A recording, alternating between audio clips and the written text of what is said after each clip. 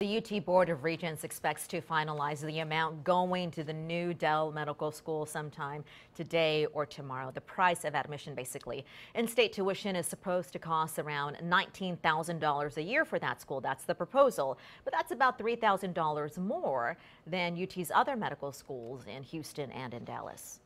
It puts us right in the same ballpark with the other Texas medical schools and a huge value over national uh, medical schools. Medical schools average for in-state residents is a little over $32,000.